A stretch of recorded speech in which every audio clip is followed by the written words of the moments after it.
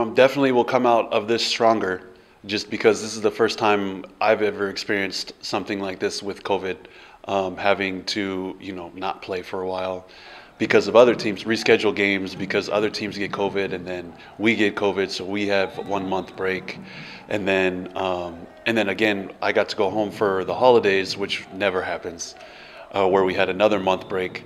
So really we had one, two, three, like three or four preseasons is the way I put it. um, so definitely I will take um, I will become stronger after this season for sure, mentally and physically.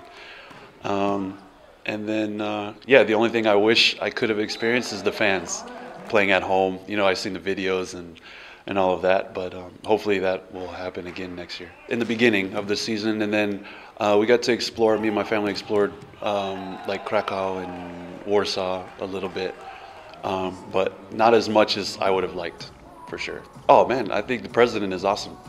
Um, the club is, has been great to me.